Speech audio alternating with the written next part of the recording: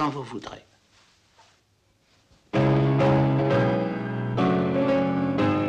Ça alors Mais qu'est-ce que vous faites là, commissaire? Dites aventurier. Vous ne pouvez pas vous amuser au 22 Laurite comme tout le monde. Vous avez été élevé au sein ou au biberon?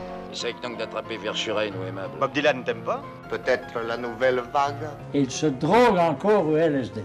Vous n'allez pas me dire que vous étiez pas au courant. Ben, pour la ramener vivant, il va y avoir un problème.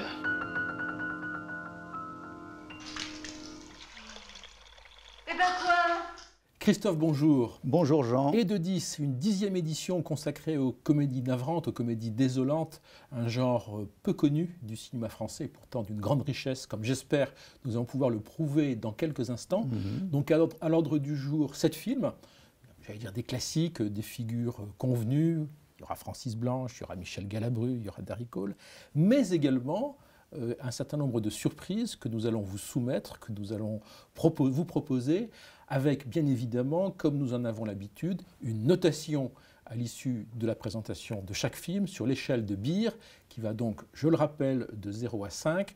0, c'est un film qui n'est absolument pas désolant, et 5, c'est un film qui est très désolant. Donc à chaque fois, je vous poserai la question sur la désolance, la navrance de chacun des titres que nous vous proposons. Et tout de suite, nous attaquons avec C'est le temps pour les mouches.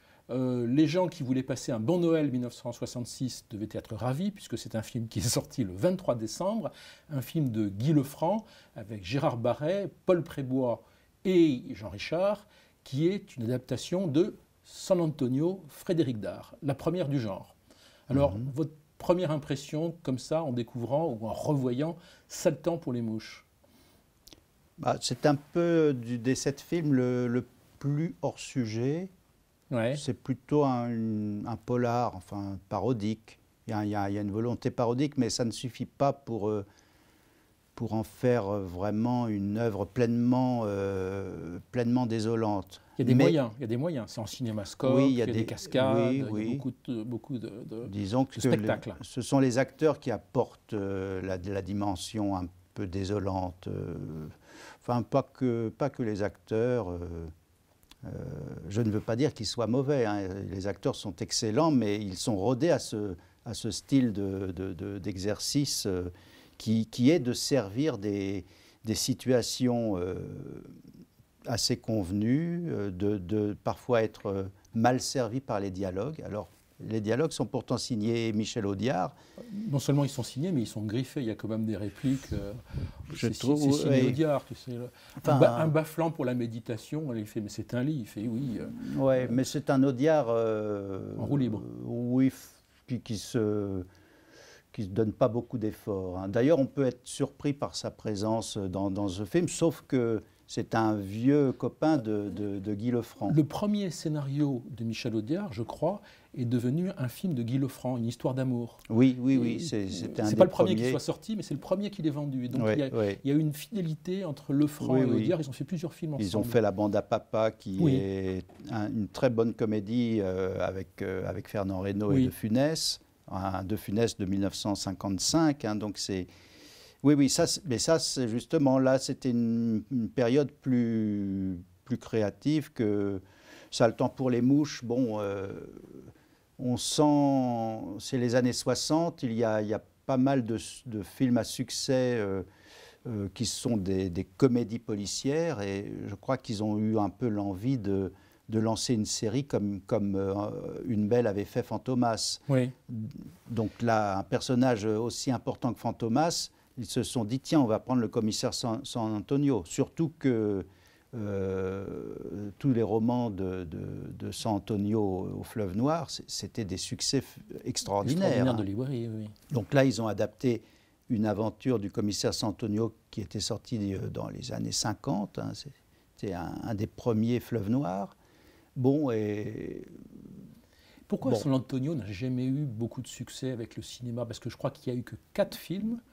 Il y a celui-ci, Ouais. il y a eu une suite, Beru et ses dames, donc avec les mêmes. toujours les mêmes, oui. Après, on, fait un saut en, av- en- Ouais. vraiment un, un saut dans le temps. On arrive au début des années 80 avec San Antonio ne pense qu'à ça de Joël Joël, Seria. Seria, qui est un des films les moins aboutis de Seria, faut quand même l'avouer. Avec Philippe Gastet qui faisait San Antonio et Pierre Doris, je crois, qui, qui faisait oui, Berrurie. Oui, oui, oui, oui. Et puis il y a encore eu un San Antonio assez récemment. hein, euh, Avec Gérard Depardieu en Berrurier Oh, mince, et Gérard Lanvin en. San Antonio de Ah oui. Frédéric Auburtin. C'est pas, peut-être le plus, le plus désolant de, de- de notre histoire, ça, non?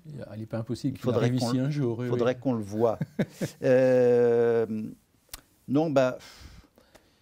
Euh, oui, c'est- plutôt un film d'action, un film d'action avec de l'humour. Et, et- et ça, ça explique aussi la présence d'un comédien comme Gérard Barret, qui, qui fait le, le commissaire Santonio, qui est d'ailleurs euh, plein d'allant. hein, donc, mais Bar- Barret est un, un comédien réputé pour, pour les films euh, d'aventure, d'action. Il, il a vraiment De été le- KPDP, surtout. Oui, de KPDP, c'est le chevalier de, de Pardaillan, c'est c'est Les les, Trois trois mousquetaires. et il faisait bon, donc évidemment il faisait d'Artagnan. euh, et il a fait des films d'aventure comme chez Razad, euh, des choses comme ça. Et, et, euh, il a même fait un western ou deux, je crois. euh, non, pas pas sûr. Mais bon, c'était un acteur d'action. Et, et là, euh, il, fait un peu le, le- le Jean Marais euh, qu'on connaît dans Fantomas. hein. Je pense vraiment que ça a été le- leur modèle euh, et leur envie de, de créer une, une, une- une série. Donc, donc après, il y a eu Beru et ses dames qui a dû être enclenché euh, assez, assez rapidement. Bon.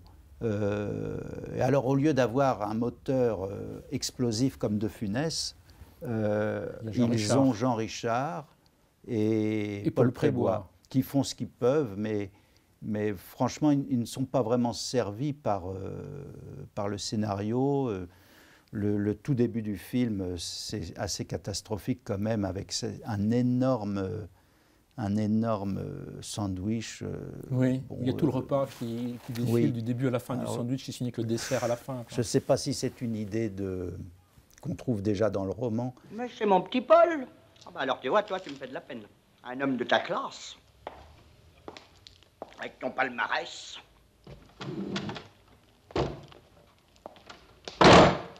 Tout est non-lieu. Atterrir au quart pour castagne en public, t'as déjà toc, mais. Port d'armes prohibé, ça. Ça va le prouver. Qui qui te cause Hein? Ah, il m'a fait perdre le fil, lui. Qu'est-ce que je disais? Il était question de ma classe. Puisque c'est à toi que monsieur cause, dis-lui donc de ne pas causer la bouche pleine. Ça fait sale et c'est pas poli. Quoi? Pendant que tu y as, dis-lui aussi que j'aime pas les adipeux. Les obèses. Les gras mous, moi, j'aime pas. Qu'est-ce que c'est que ce mec hein? Je connais à peine, moi. Et puis tout bien pesé. Dis-lui donc merde. Parfait. Maintenant, j'ai compris. Monsieur me cherche. Hmm, T'aurais pas dû faire ça, gros.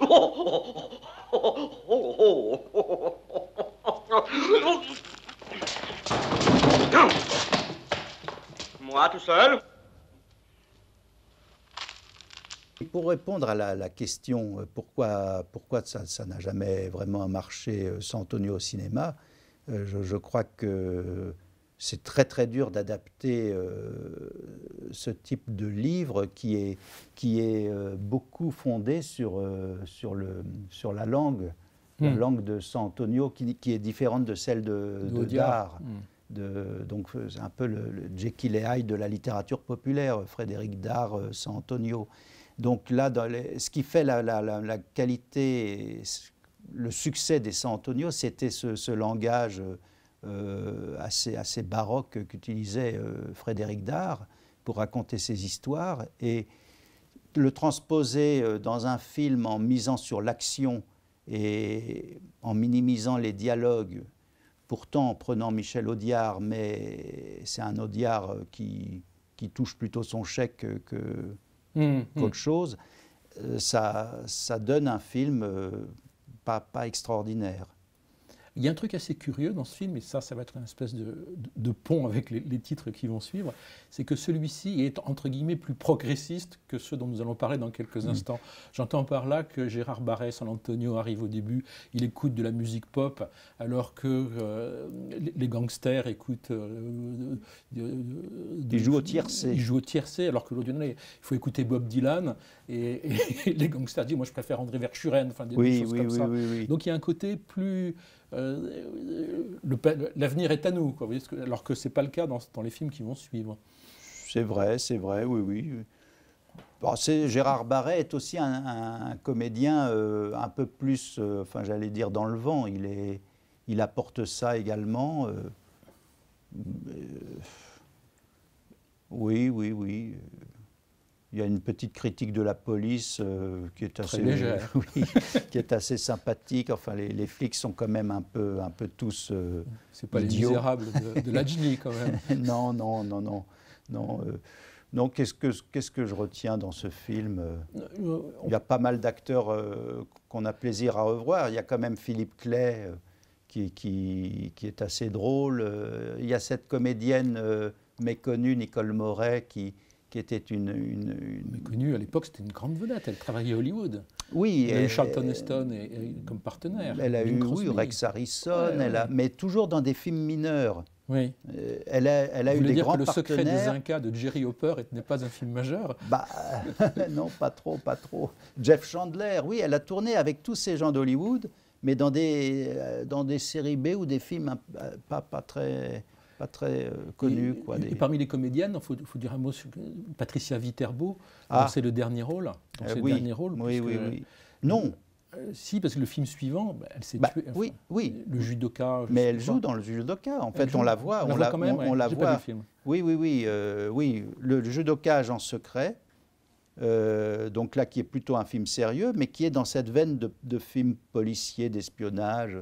Euh, c'est soldé par un, par un accident tragique où, où cette jeune comédienne, qui, qui n'avait que 24 ans, je crois, Et qui vivait à l'époque avec Johnny Hallyday, qui était la première Euh. Ah oui, compagne oui, de Johnny oui. Hallyday. C'est lui qui l'a dit, donc on peut le raconter. Donc, donc euh, elle a, il y a eu un accident tragique. Elle était dans une voiture qui, qui, qui est tombée dans, dans la Seine. C'était une, une séquence euh, au bord de, de la Seine et, et elle n'a jamais pu être euh, sauvée de, de- de cet accident.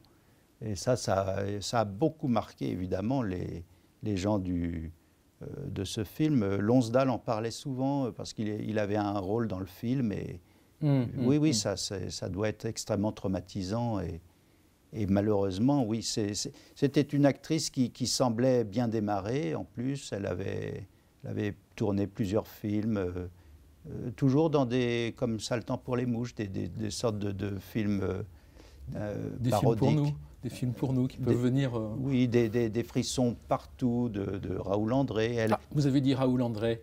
Oui, Avant que nous parlions de Raoul André, votre note pour Saltant pour les mouches sur l'échelle de Beer euh, 0, 1, 2, 3, 4 ou 5 oui, trois. 3 Trois, oui, oui. D'accord. Oui, oui. Bon. Parce que c'est quand même un peu désolant malgré tout. hein. Il, y a, il y a tous ces. Hmm. Pour les 10 millions, je dois les rendre? Quels 10 millions?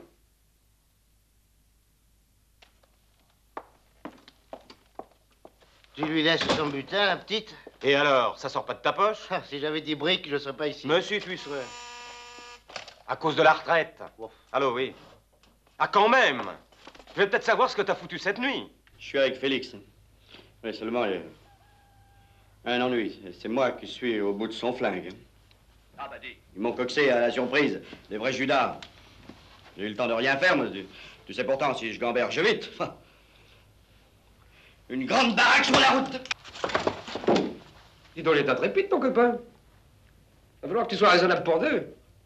Sinon, la grosse bombane, je la fous en Perse.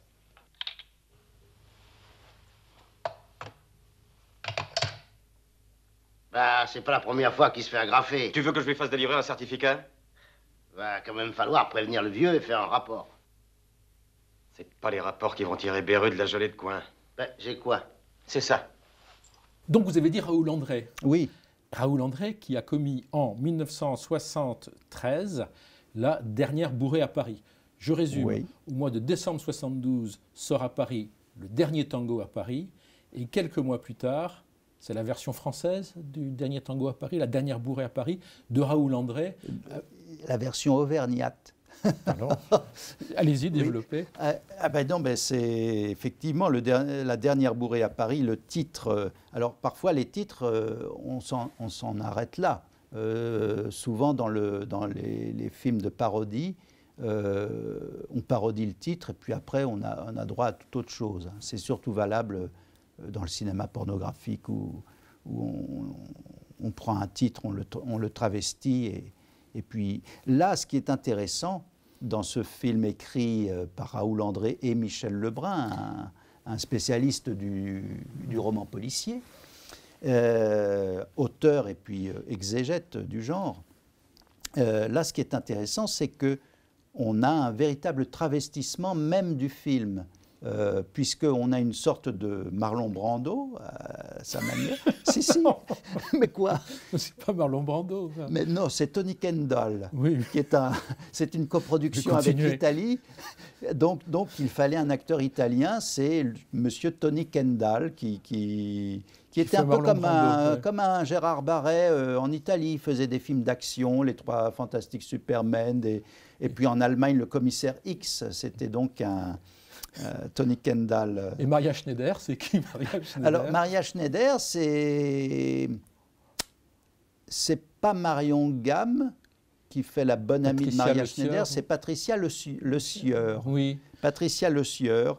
Euh, oui, alors bon, je, on va pas parler du film de Bertolucci, on connaît l'histoire. Euh, il y a une histoire. En fait, c'est l'histoire d'un d'un comment dire d'un lieu d'un lieu qui vampirise les gens.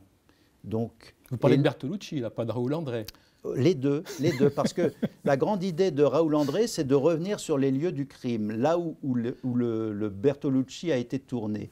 On, donc au début du film, nous avons, nous reconnaissons ce, ce, ce décor de, de, de, métro aérien. Donc c'est le, c'est, le, oui. le métro Passy. Hein, et donc, on a un, plan identique euh, de, donc de cette femme qui erre, qui erre sous, les arcades du métro et puis qui tombe sur un appartement à louer. Elle entre comme ça. Et là, on tombe sur Marlon Brando. Non Non, pardon. On tombe, on tombe sur Tony Kendall, qui est avachi comme l'était Brando. Euh, il, Ce qui prouve qu'ils ont vu le film, quand même. Il, ah ben bien sûr qu'ils ont... Mais, mais par contre, on n'en voit aucune image. Non. Parce que l'héroïne, oui. elle va voir le si, film à un elle, moment, elle... et ils ont mis une, une bande-son d'un film porno. Enfin, je oui, dire, mais oui. parce que le film avait cette réputation sulfureuse. Hein. Il y avait cette histoire de mode de beurre, vous vous souvenez donc, donc, euh... Qui revient dans le film sous une forme... Bien sûr. On en reparler. oui, euh, c'est assez marrant tout ça. Non, c'est bien construit, je trouve. vous me trouvez... Euh... Vous, vous n'étiez pas inquiet quand au générique, il y a marqué dialogue de toute la troupe? J'ai trouvé ça très drôle et à mon avis c'est typique de Raoul André. Raoul André a toujours adoré faire des films de troupe, des films où, d'ailleurs vous avez vu, bon, je ne vais rien dévoiler vraiment, c'est que à la fin, la fin du film, ce, ça finit en chanson et en danse. Oui. Et c'est le cas de la moitié des films de Raoul André au moins. Ça se finit toujours comme ça. C'est presque une signature chez lui. Euh, il a apporté ça au, à son remake de Bertolucci, cette, cette danse finale. Remake, vous allez un peu fort quand même. cette parodie, non mais je, je, je, trouve ça très plaisant. Elle voit le film, donc oui. il y a une espèce de mise en abîme du cinéma même, le, le cinéma comme, comme euh, pouvoir de, de, comme le cinéma qui, qui, qui influence la vie des gens. C'est ce que tout le monde a toujours rêvé. Adokirou parlait de ça en tant que surréaliste. Le cinéma ne doit pas juste être un film dans, qui, qui, projeté dans une salle. Il doit rejaillir dans la vie des spectateurs. Et là, c'est ce que montre Raoul André. Vous essayez de me vendre La vie secrète de Walter Mitty, un film qui, est-ce bien raisonnable, fait de Michel Galabru un Auvergnat et Michel Galabru essaie, je dis bien essaie, de prendre l'accent auvergnat quand même. Oui, il essaie. Il n'y arrive pas? Non, mais je crois que c'est assumé. Oui, le Fouchtra. Il, oui. il, a, il, a, il tient un restaurant qui Et Francis Blanche fait un auvergnat aussi. Francis Blanche, Christian Marin. Euh, oui, oui, ce sont. C'est le dernier tango à Paris, euh, version auvergnate. Dis donc, euh, tu as reçu mon télégramme Ah oui, à propos, alors raconte, Berthe, où est Berthe? Eh bien voilà, elle a disparu, elle, elle a disparu, oui. Non, bon Dieu, de bon Dieu, de bon Dieu Enfin, une petite que je t'ai confiée. Mais oui, mais moi, qu'est-ce que tu veux pas que ça faire J'ai mon commerce, j'ai... Oh Bonjour. Bienvenue au Foustra. Qu'est-ce qu'il y a de bon à manger aujourd'hui? Une spécialité auvergnate. Ah Le couscous. Merci. Bon, dis donc, comme ça les. Bonjour. Bonjour, monsieur. Une dame, une bête, un liquide. Allez, voilà, c'est prêt, c'est rentré. Allez, voilà. Qu'est-ce que tu sers aujourd'hui? Fille, non? Il y a une raison, hein? Ben, c'est qu'elle est tombée amoureuse, tu sais, d'un type, espèce de Marc Mal, à ce que m'a dit Lucille. Eh, où il habite, ce salopard? Ah, ça va savoir. Oui, je vais savoir, parfaitement, je vais savoir. Allez, faut que je me change un peu, je me donne un coup, je m'habille en parisien, et le veau et moi, on reprend l'enquête. Une blanquette de veau, en somme. Et il y a une scène, moi, que j'adore, c'est c'est Daniel Prévost comme... euh, Qu'on voit beaucoup, oui, oui. qu'on voit, qui, qui joue le mari, ou l'ami, enfin, l'ami, qui, qui est professeur euh, à l'université. Il enseigne euh, la- les danses folkloriques, et on le voit à un moment donné euh, donner son cours et enseigner la danse auvergnate, la bourrée, Bourrée, la oui. bourrée auvergnate. Et c'est une scène vraiment magnifique, ça. La bourrée, comme toutes les danses d'ailleurs, symbolise la quête amoureuse. Nous savons tous que dans, dans les sociétés primitives, que chez certaines espèces animales, comme le, le coq de bruyère ou les abeilles, le mâle tourne autour de la femelle pour attirer son attention et le séduire, n'est-ce pas? Alors dans la bourrée, c'est tout le contraire. Les, les bourrées de la figure, les- figures de la bourrée évoquent la poursuite de la jeune fille amoureuse qui s'enfuit ou, fait semblant de s'enfuir pour attirer le, le jeune homme amoureux, n'est-ce pas? Voici la jeune fille avec ses mouvements gracieux. Voyez? Et voici la quête du jeune homme.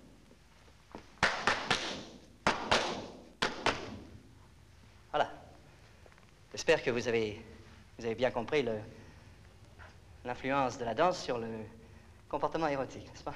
Oui, parfaitement. Il doit s'en souvenir. Ah, euh, oui, mais figurez-vous, je- j'avais, j'avais, j'avais joué avec lui au théâtre. Et au théâtre, on, se fait toujours des cadeaux euh, avant le, le jour de la première. Et les- les- les- c'est une tradition au théâtre. Et je lui avais offert la cassette, de la dernière bourrée à Paris, qu'il n'avait pas revue. Il a Et- refusé de et- monter sur scène ou il est, venu quand même? Il, bien sûr, il, il était très content du cadeau parce que hum, il a, il s'est jamais, hum, il a, ja- il a jamais eu un regard condescendant sur, sur cette carrière de nanar.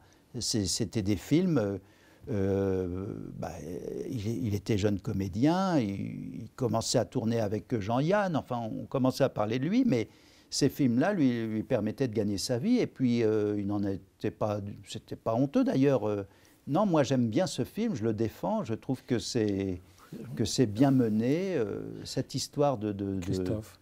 Tout à l'heure, quand même, essayé de défendre mollement le caractère un peu progressiste de San Antonio. Là, il y a quand même un côté, euh, j'allais dire, un peu réactionnaire, Oui. franchouillard. Euh, ils, ils- Ouais, ils osent quand même des répliques euh, qui, ont, qui ont du mal un peu à passer aujourd'hui. Ça a été écrit par toute la troupe. Quand on voit un comédien noir qui arrive en disant « je veux un Saint-Zano blanc Oui. euh, d'abord, il y a du placement de produit, d'un produit interdit. Oui. Et, et après, c'est quand même limite.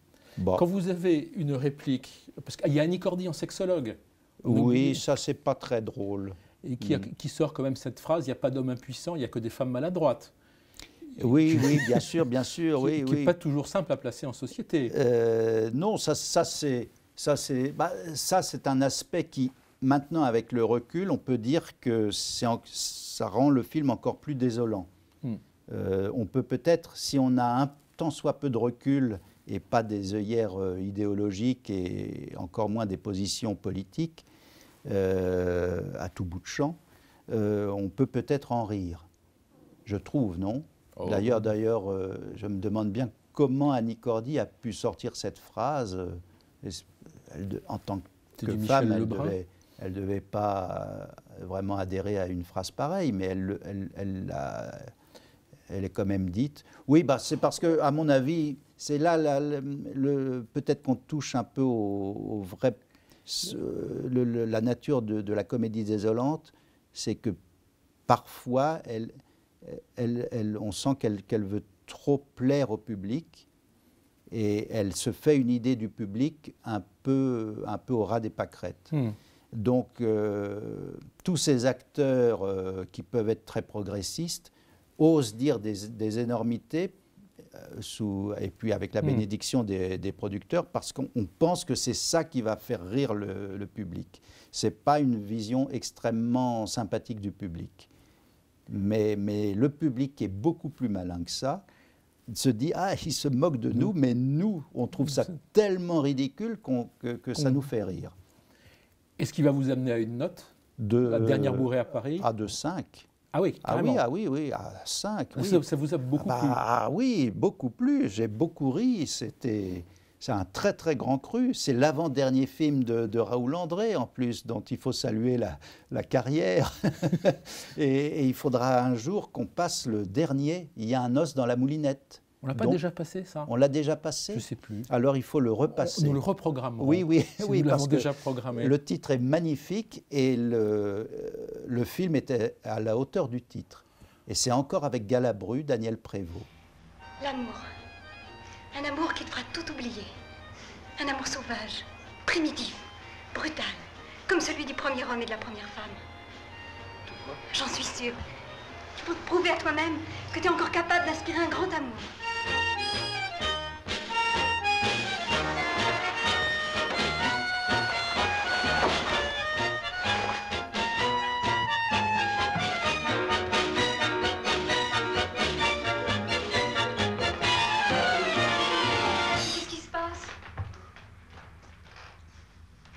Dis-moi quelque chose.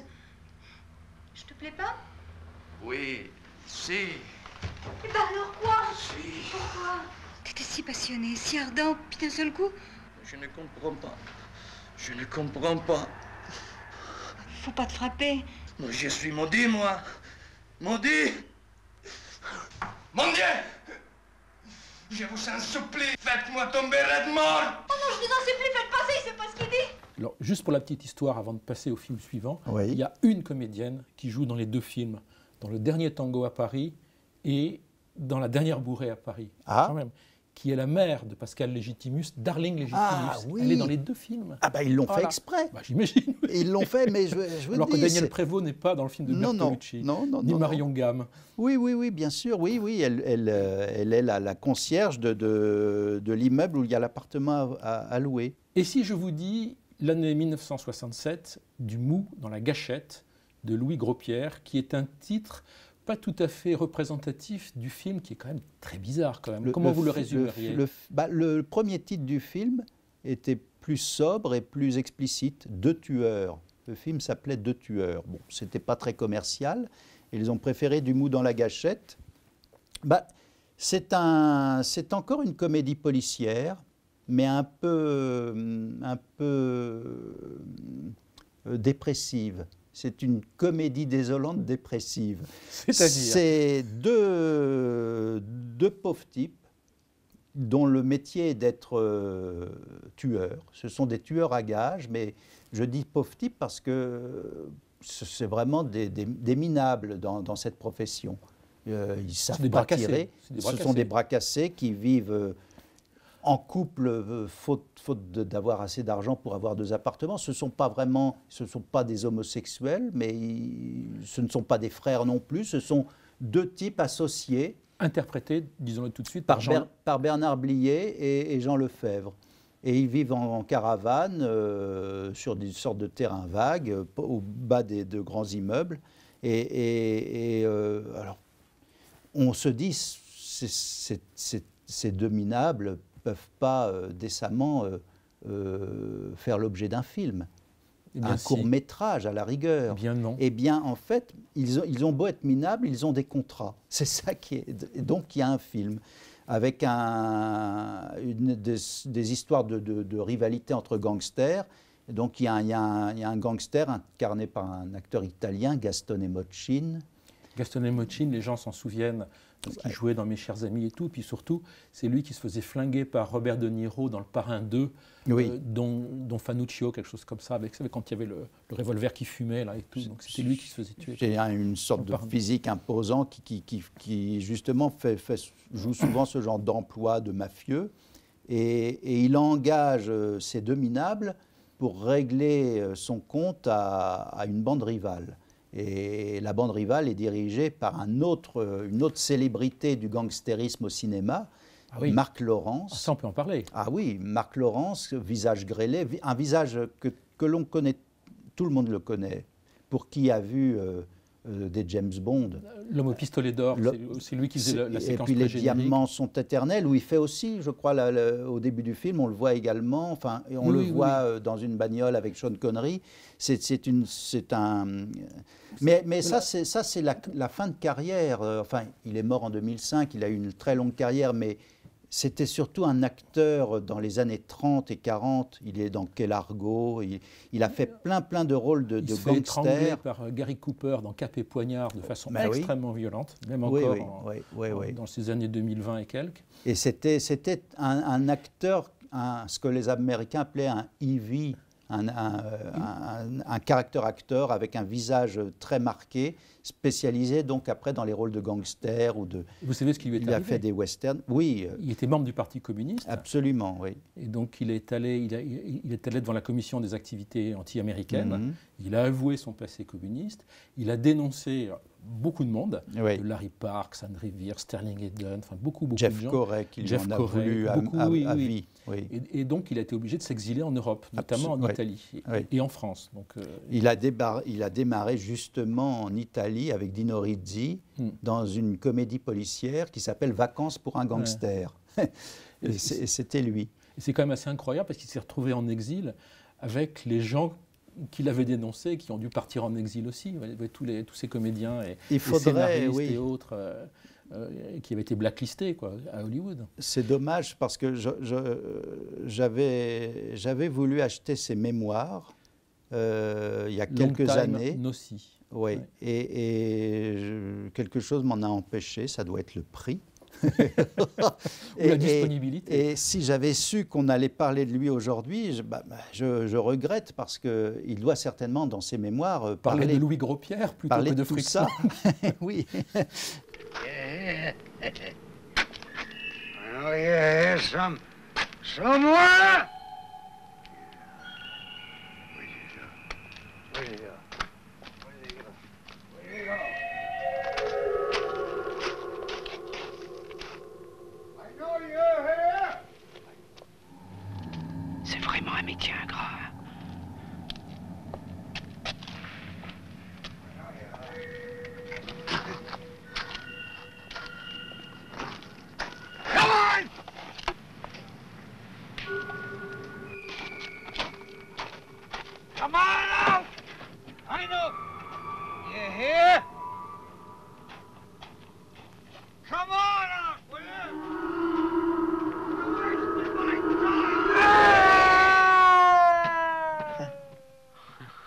Sa carrière a été brisée par le macartisme parce que la, la- la seconde partie de carrière, donc à partir des années 60, ça a été surtout la télévision, euh, quelques, ouais. et puis des- vraiment des, des petits rôles. Il est comme- revenu en grâce un peu avec Marathon Man. Mais Euh, ce il, sont il des est dans Une nuit en enfer, le film oui, de, de, oui, de bien Rodriguez. sûr, bien il est- sûr, mais ce sont des, des rôles petits par rapport à ce qu'il faisait euh, Bien sûr, euh, dans les années 40. Ouais. Et c'est peut-être aussi une des raisons pour laquelle il, il a essayé de, de réaliser deux films. Ah bon? Il a fait deux films, Tendre Garce avec Ursula Andress, que je n'ai jamais vu, et surtout un truc extraordinaire, un film de redneck euh, très trouble, Pigs, dans lequel il joue un, paysan qui élève des cochons, qu'il il fait il donne de la chair humaine à ses cochons, et il a des relations incestueuses avec sa fille, qui est jouée par sa propre fille. Et si on revenait à Bernard, à Bernard Blier, Jean oui. Ah oui, mais c'est vrai que Marc Laurence, on adore Oui, parler oui, de lui. oui, oui. Euh, Et donc Bernard Blier et Jean Donc, Lefebvre, Bernard Blier- c'est- les frères Wolfoni des tontons flingueurs, en fait. Oui, c'est- qu'il y a les mêmes bruits de détonation, diouf, diouf, Oui, comme ça, oui, oui, oui. parfois. moins bien. moins bien. Même les bruits de détonation sont moins bons. Oui, c'est- évident qu'ils essaient de, de lorgner euh, vers, vers les, parodies de, de Lautner. hein. Euh, Lefebvre, euh, c'est Ne nous fâchons pas. Bernard Blier, bon, bah, c'est évidemment euh, Lautner. C'est toute cette mythologie qui essaie d'être exploitée dans, dans le film, mais ça, je vous dis, un, je trouve ça dépressif. Mais c'est pas mal d'ailleurs ce, ce côté dépressif. Ces deux minables qui, qui n'arrivent à rien. euh. Et qui sont plongés dans un monde qui les dépasse, qui est celui des grands ensembles en cours Alors de ça, construction. oui, ça j'ai trouvé ça très bien. Ça m'a beaucoup plu. Euh, mais on- vous savez, ce sont des, des- il y a des films dont les qualités sont en creux. Euh, des des- les qualités dépassent un peu les, les auteurs. Et je- on, a, on a ce sentiment-là avec ce film, c'est que hum, je crois que pour eux, le, le- le- le- le- le vrai intérêt, c'était la comédie, les scènes, euh, les scènes de, de mhm. poursuite. euh, c'était pas le- l'environnement. Et nous, aujourd'hui, en 2020, ce qui nous frappe, en 2021, ce qui nous frappe, c'est cet aspect sociologique. vague. Oui, oui, oui. De- de- D'immeubles en construction Mais partout, partout. C'était très. Et le désarroi des, des- des- des Des- personnages. bien À un sûr. moment, il y a une réplique où euh, Bernard Bliot, Jean, Jean Lefebvre, je ne sais plus, dit Mais c'est quoi ce truc? Il n'y a Oui. pas de numéro, il n'y a pas d'adresse, il n'y a pas de nom de rue. C'est peut-être voulu. Oui, oui, ils sont en voiture avec leur, dans le- au volant de leur, leur décapotable américaine et ils sont perdus comme nous sommes nous-mêmes perdus quand on va en banlieue. Hum, Euh, Quand on va à Noisy-le-Grand ou autre, on, on- on est, on est tout aussi Vous êtes en train de nous aliéner une partie Mais de nos non, spectateurs. mais non, les spectateurs de Noisy le savent. Ils sont tous perdus. Il n'y a, pas de- il y a pas de plaque. Il a raison, Jean Lefebvre.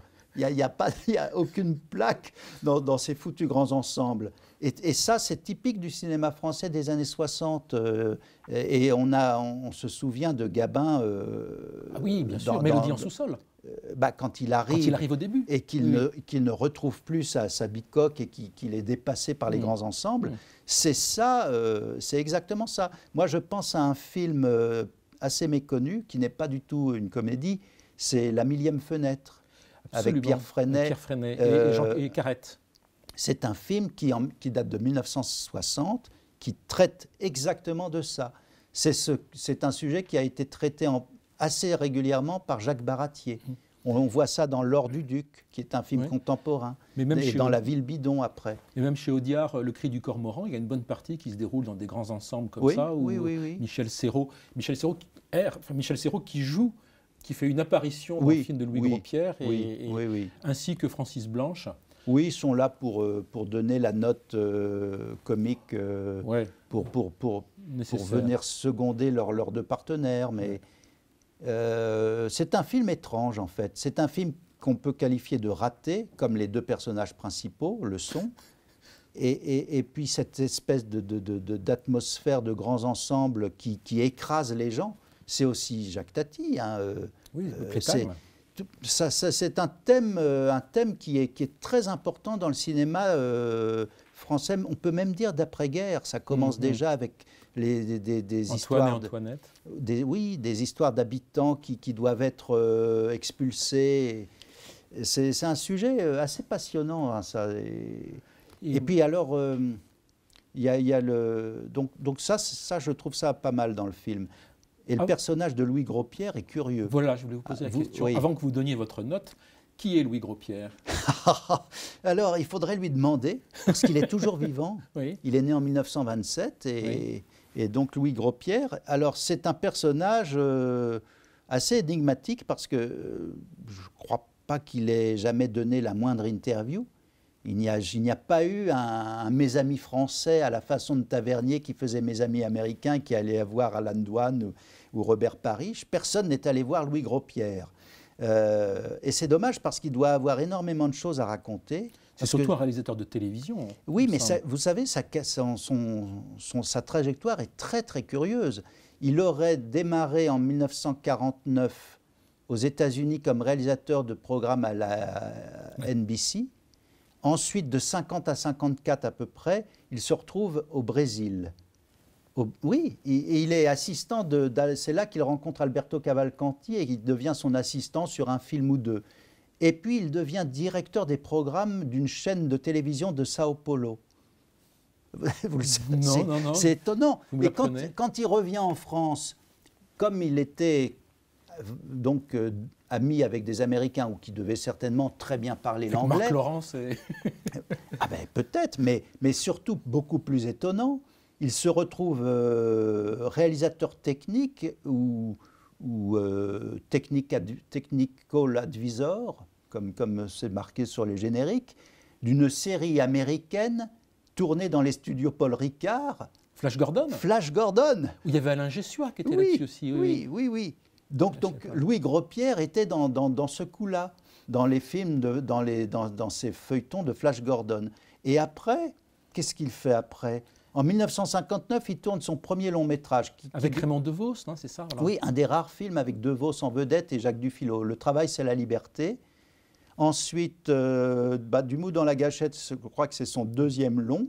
Et après, il, il fait euh, Bruno, l'enfant du dimanche, un- un- une sorte de mélo euh, sur le divorce avec, euh, avec euh, Roger Hanin. Et puis, il se retrouve encore à bourlinguer, euh, à faire des coproductions avec la Suisse. Il faut qu'on l'interviewe. Ah ben, et, et- et il a encore fait un film en 1988. J'ai découvert ça. euh, Avec Charlie Borman, c'est ça? Oui, Oui, c'est oui. le fils de John Borman. Alors, alors euh, c'était une espèce de film moyenâgeux. et, et en fait, c'était un, c'est un médiéviste, médiéviste on dit, ou médiévaliste? C'est un voudrez. spécialiste de l'époque médiévale. Voilà. il, a, il avait fait ses études, euh, des études euh, sur, le, sur le Moyen-Âge, ce, ce fameux Louis Gros-Pierre. C'est quand même bizarre, non? Mais c'est très bizarre, mais est-ce que... Et surtout, euh, vous l'avez dit, ça- ça- la- le gros de sa carrière de cinéaste, c'est à la télévision, où il a quand même adapté des Barbet d'Aurevilly, euh, des, des choses Est-ce que cette connaissance encyclopédique que vous avez de Louis Gros-Pierre va peser sur la note que vous allez donner à Du mou dans la gâchette? Non, non, non, mais ce qui pèsera sur la note, c'est ce côté un- euh, euh, dépressif que j'aime bien dans le film, finalement. Et le, le fait que les gags ratent aussi. Tout, tout rate comme les personnages Ah, sont des je sens ratés. que la note monte. La oui, note oui, monte. moi je mettrais bien 4. D'accord. 4, Voilà. 3,5, 4. C'est tout à fait honorable. Oui, oui, oui. Tout Oui, à fait honorable. oui. Vous devez pas en avoir une vie monotone, toujours Oh sur la brèche. Ah, pas sur la brèche, ça. Je suis encore un peu jeune, mais dans deux ans, je me fais tuer. Eh, doucement, oh là, oh. Les poursuites en voiture, ça fait beaucoup ben, c'est-à-dire, euh, c'est-à-dire que avec la circulation actuelle, ça devient de plus en plus difficile. Eh. C'est vrai, un coup d'œil à droite, un coup d'œil à gauche et Et des coups durs, vous en avez beaucoup? Oh, tiens, écoute-moi bien. Il y a cinq ans, on était encore une bande de 16 gars. Et ben maintenant, on n'est plus que deux. Où sont les autres? Oui, morts. Et 600 tôles. Oui, mais il y a tout de même des exceptions, hein. Mais tu sais aussi bien que moi que la moyenne d'âge dépasse guère 30-35 ans. Ça, je peux pas dire, j'ai pas suivi les statistiques. Ou alors, d'accord, il y a ceux qui ont la chance de se faire épingler autour de 20-25 ans et puis qui récoltent les travaux forcés à perpète. Là, j'ai connu des centenaires. Mais il faut voir leur morale. Pas beau, hein. La vie d'un tueur, c'est quand même formidable. Il est respecté, puis il y a les femmes? Oui, oh, les femmes, je dis pas. Mais quand il y a du travail, un mois de chômage, puis elle vous largue pour un fonctionnaire. C'est quand même plus marrant que d'aller à l'usine, non? Et les nerfs. Qu'est-ce que vous en faites des nerfs? Ça lâche. Pourquoi avoir choisi d'être tueur plutôt que plombier? Ça. Mon cher Christophe, on va s'offrir une petite récréation, revenir aux fondamentaux avec Jean Giraud, l'épicassiette. Il y a une espèce de compétition permanente ici entre Raoul André d'un côté et Jean Giraud. Et je m'en voudrais que l'on parle de l'un sans parler de l'autre. Donc là, Jean Giraud, c'est un film important puisque c'est son premier long métrage. Absolument, oui, oui, oui. Jean Giraud a, a dû réaliser jusqu'en 82, jusqu'à son décès, et il est quasiment mort euh, sur scène, hein, Oui, oui. Il est mort en plein tournage euh, du, du- C'est de- les extraterrestres ou les le gendarmes gendarme, euh, bon, Enfin, un, un gendarme. Et les gendarmettes, oui, le gendarme et les gendarmettes. Euh, il a fait une trentaine de films, un peu plus, hein, 32 à peu près. et oui, c'est son premier, premier film. C'est pas ses- ce ne sont pas ses premiers pas au, au cinéma. Il, vit- il est venu au, au cinéma par l'écriture. Euh, avec son, son compère Jacques Wilfried, qu'on retrouve au, au générique des Picassiettes, il me semble. Ça, ça, ça Oui, oui, m'étonnerait. oui, oui, absolument, hein. avec Francis Rigaud. Ah oui, oui, oui, Francis Rigaud, bon. Francis Bon. Rigaud. Déjà, Euh, j'anticipe la note. euh, oui, oui. Ben, donc, c'est c'est quelqu'un qui, qui, qui, qui vient de l'écriture, euh, les dialogues. Il a, il, a, il a écrit des pièces de théâtre. Euh, il, il a débuté euh, assez tôt, hein, juste après-guerre, euh, avec son copain Wilfried. Wilfried faisait réaliser des courts... Deux, ils ont fait deux courts-métrages. L'incroyable capitaine Barclay, puis un autre truc là. Bon, et, et Giraud, Giraud écrivait, et puis après on, on le voit, on le voit pour pour des films désolants, enfin des comédies désolantes comme euh, euh, L'ami de la famille, je crois, enfin, des Mmh, films, des avec euh, Jack. Jack Pinotto, euh, euh, un ou deux films de Jean-Claude Roy, euh, dont je crois qu'on on les a vus d'ailleurs, on les a passés Mmh, ici mmh. même, Une nuit au Moulin Rouge. Oui.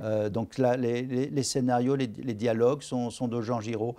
Euh, donc il, il- il en est, il est venu assez naturellement à, à la mise en scène en 1960. euh, J'ai- J'aime bien ce- le, le terme de naturellement. Mais oui. Parce que c'est c'est quand même un petit peu, je cherche un terme, décousu, le- Mais, vous savez, je, vous fais une confidence là qui n'a pas grand. Enfin, je ne sais pas si ça a un rapport vraiment.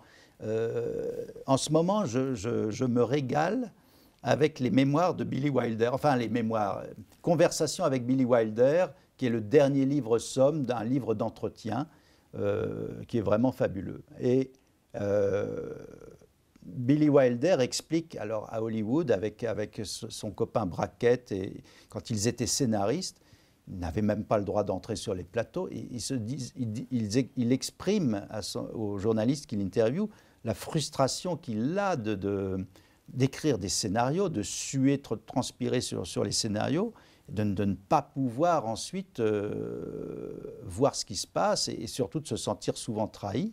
Et, et il s'est dit à un moment donné avec Brackett, euh, il faut les réaliser nous-mêmes. Et, et je me demande si Wilfried et Jean Giraud n'ont pas eu... Tout ça pour en arriver à comparer Jean Giraud et Jacques Wilfried à Billy Wilder et Charles Brackett. non, je ne veux pas aller jusque-là, mais c'est un peu de la provocation de ma C'est une, part. succession de sketchs quand même, avec Darry Oui. Cole et, et Francis Blanche. C'est le côté chansonnier qui est toujours un tout petit peu agaçant parce que lassant, parce que c'est ça- c'est pas ça qui, qui arrive à, à faire fonctionner un film. Un télégramme, monsieur Loiseau Monsieur Loiseau, un télégramme, c'est urgent Un télégramme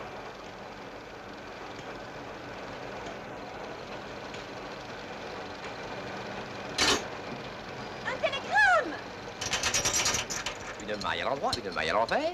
Bon, eh ben, cette fois-ci, ça ne marchera plus jamais. Allons-y. Hop. ха-ха-ха.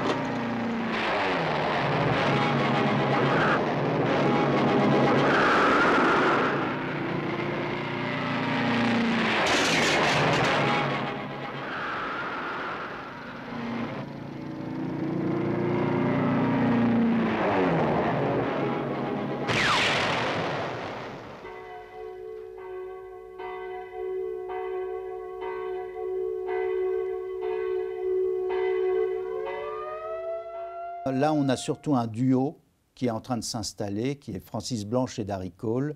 Et c'est ça qui est le moteur principal du film.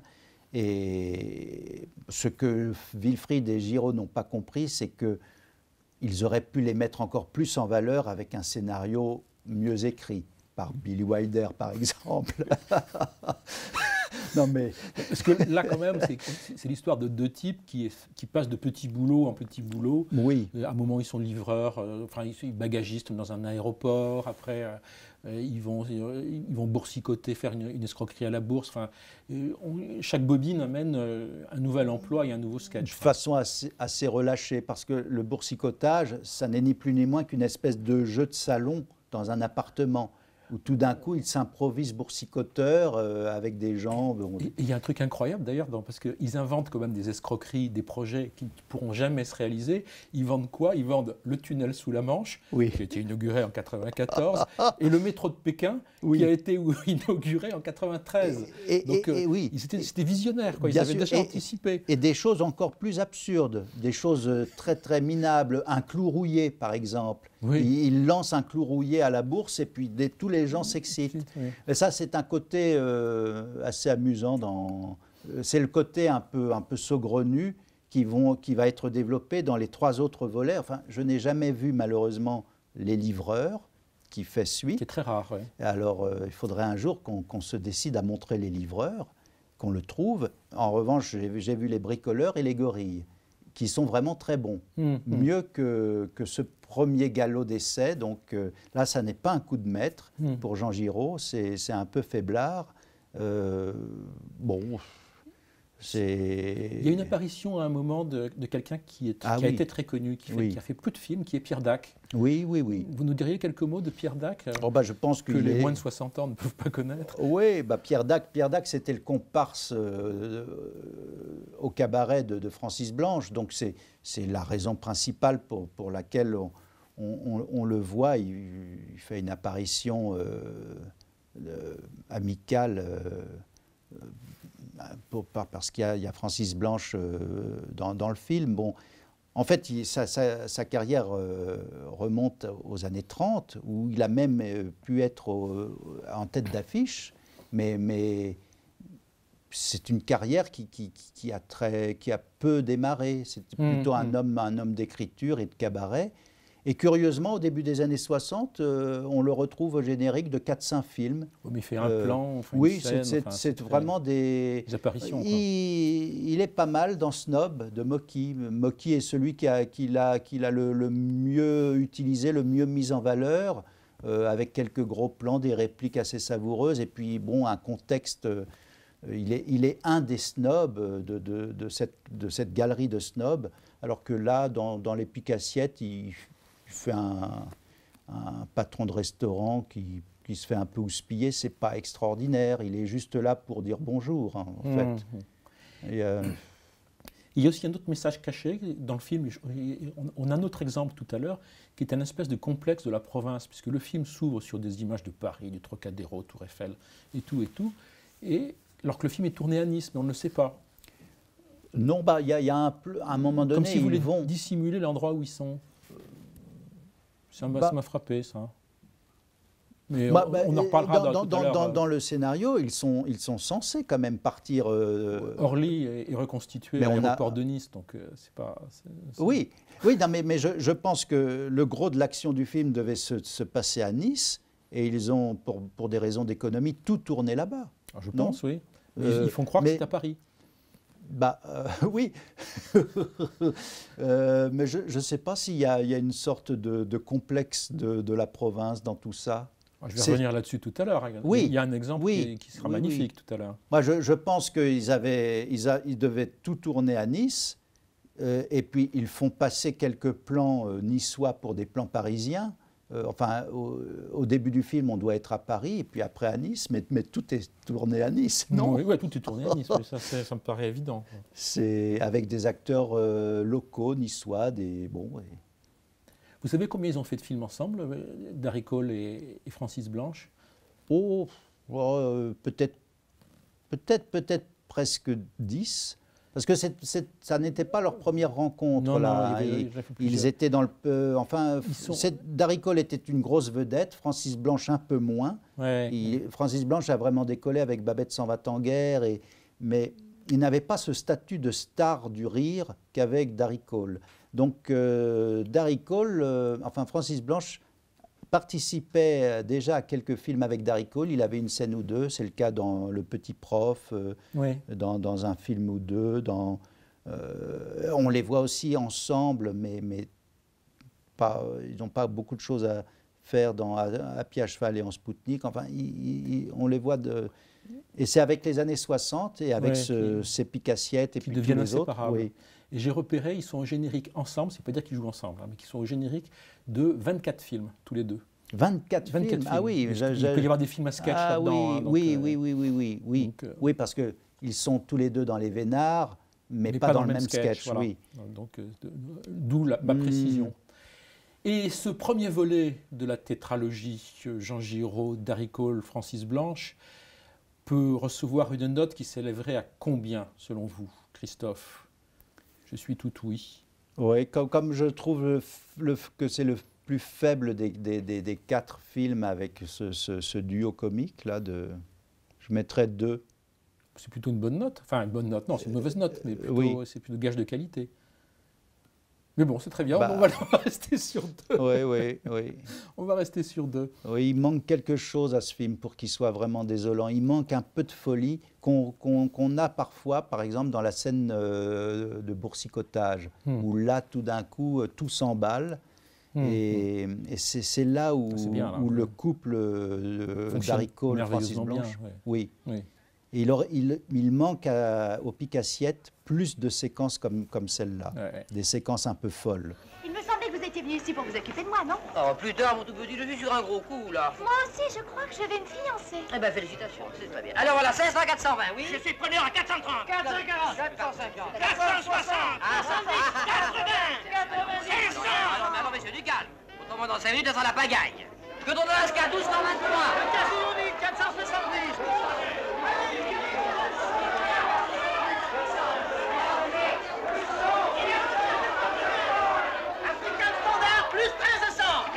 3280 On vous met 6190, je vends J'achète. Ah.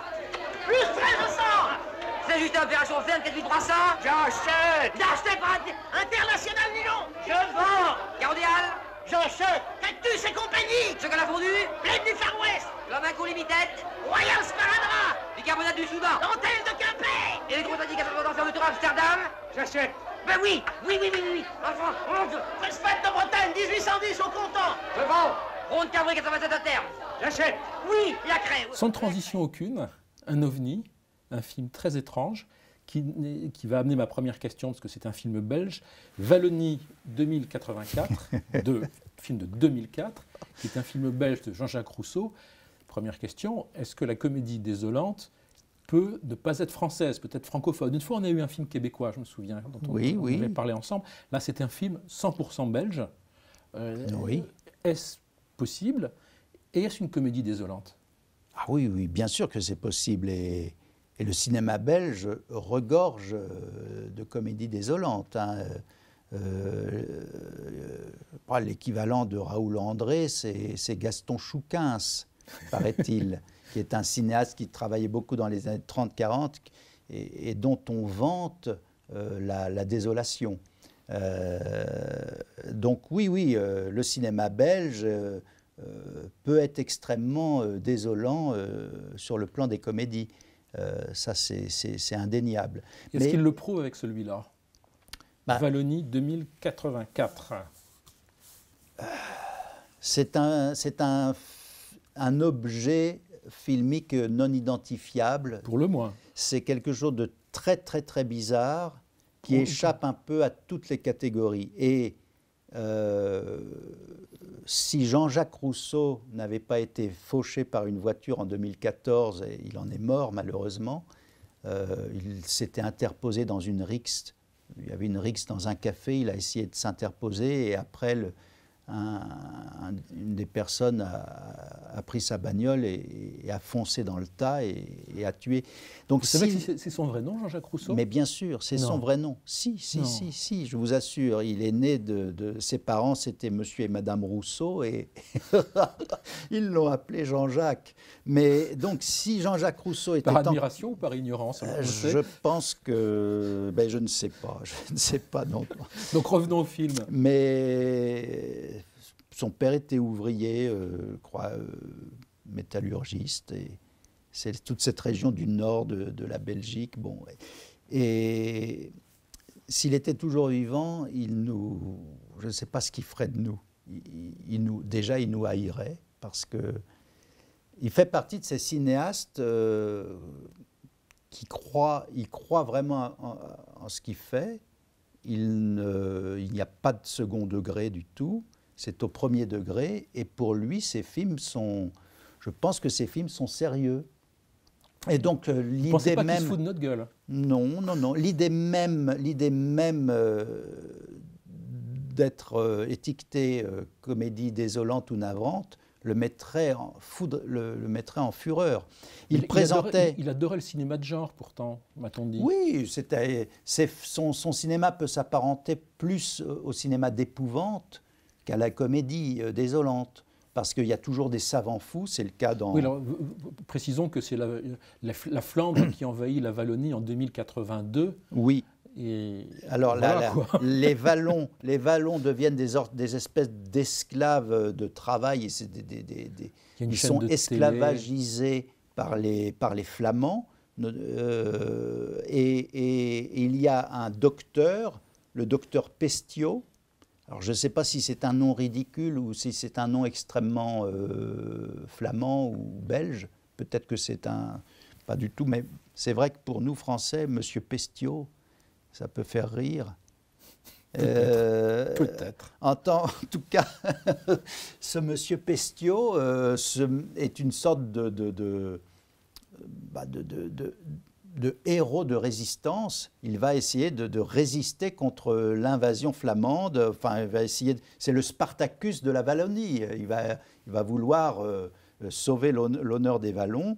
Euh, il, y a, il y a des choses extrêmement étranges parce qu'on ne peut pas résumer un film pareil.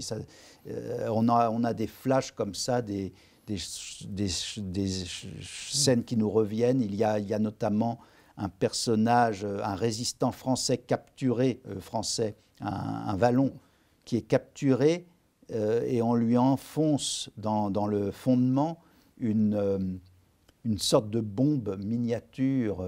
Il s'appelle Ravachol, le mec. hein, il s'appelle Ravachol. C'est pour ça que, que j'ai eu ce lapsus en disant qu'il était français. Et il, il doit ensuite, il est programmé pour exploser sur une place publique avec sa bombe, euh, sa bombe anale. hein. C'est une bombe anale.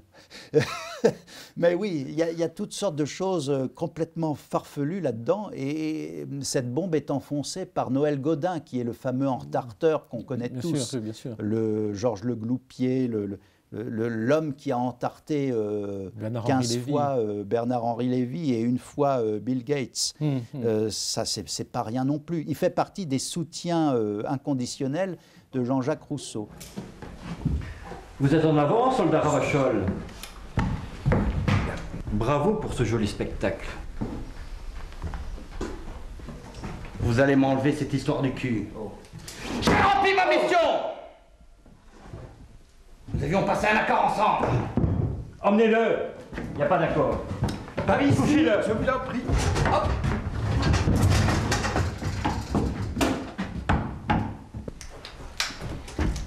Qu'est-ce que vous allez me faire? N'en profitez pas, bande de porcs Pour euh, revenir au, à, Donc, donc à je la- fais une parenthèse, Oui. Jean-Jacques Rousseau, il ne montrait jamais son visage. C'était un peu le Daft Punk du cinéma, c'est-à-dire qu'il était toujours mais- avec une, une cagoule. Alors, alors ça, c'est un aspect intéressant. Il- il- effectivement, il, n'a- il apparaissait toujours cagoulé euh, parce qu'il il réinventait le- une sorte de cinéma forain. Personne ne voulait de ses films. On se demande pourquoi. Il est devenu lui-même exploitant. Et puis après, il allait de festival en festival, il, il- installait des, baraques où il projetait ses propres films, et il les présentait avant comme un forain, mais il les présentait masqués. Et, vous savez qu'il a, il a, il a, il a 40 ou 50 films à son actif. Alors parfois ce sont des courts ou des moyens métrages, mais, il, a, il a toute sa vie, il a tourné.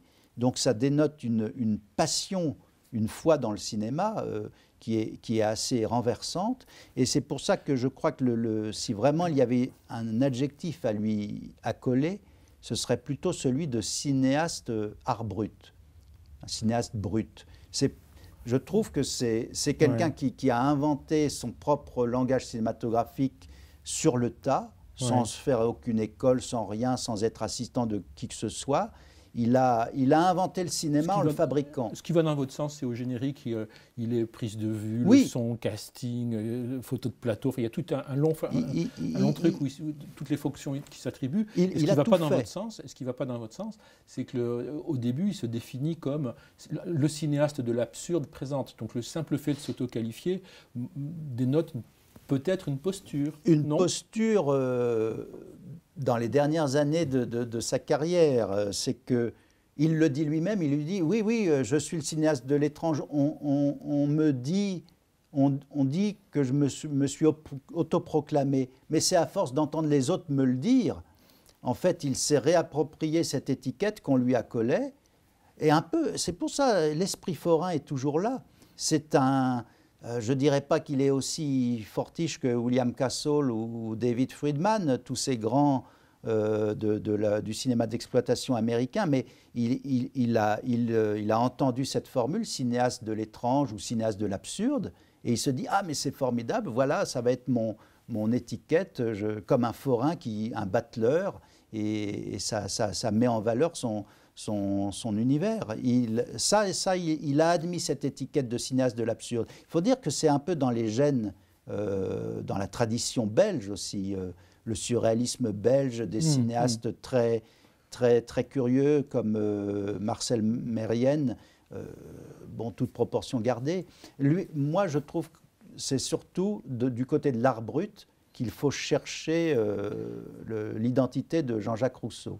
Et est-ce que cette euh, admiration, vous vous enflammez pour Jean-Jacques Rousseau, est-ce que ça s'est traduit dans la note que vous pouvez attribuer Oh là, à bah, Valloni euh, Ah oui, oui, oui, oui, 2084? oui, c'est- une. euh, Parce qu'il y a aussi. on C'est n'a soit pas- 0, soit 5, après On n'a que pas, par- pas parlé de ces, de ces acteurs qui sont souvent des acteurs amateurs, qui, qui, qui jouent, qui jouent de travers. C'est un cinéma, de- voilà, un cinéma de travers. Voilà, le cinéaste de travers. Euh, Vous avez le choix entre la 0 et fin, 5. La fin abrupte aussi. Une fin abrupte, c'est. Ouais, bah c'est 5, c'est c'est même 10. Je ne sais pas. Oui, oui, c'est c'est quelque chose. Vous allez prendre c'est- hors points note. des autres films. C'est hors note. c'est- c'est- on atteint quelque chose de- de- de- de- d'inqualifiable,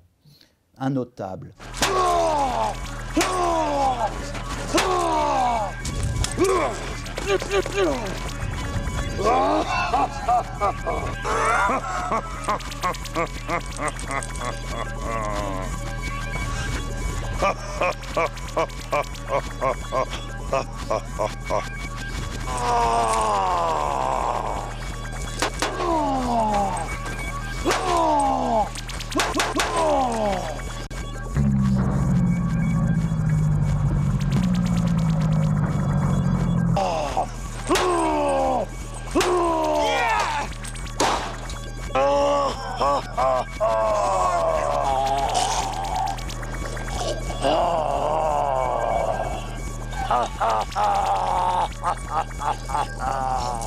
Je